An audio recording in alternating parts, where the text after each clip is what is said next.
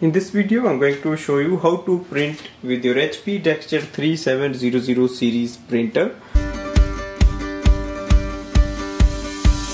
You can use this printer with a smartphone, laptop or MacBook to print. I'm just going to use this printer to print with my laptop.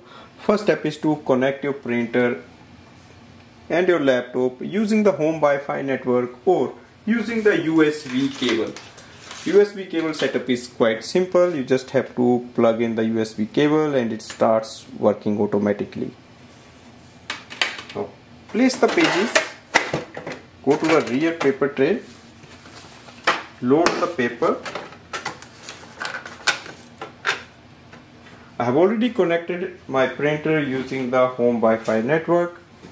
Now select a document you want to print. For example, I'm just going to print this if you see the printer icon just click on here.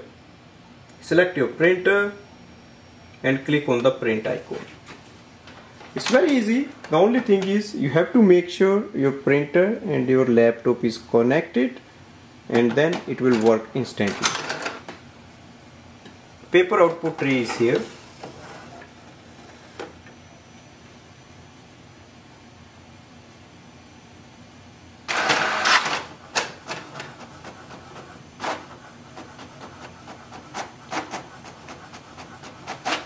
this way we can do the printing with this printer. Thanks for watching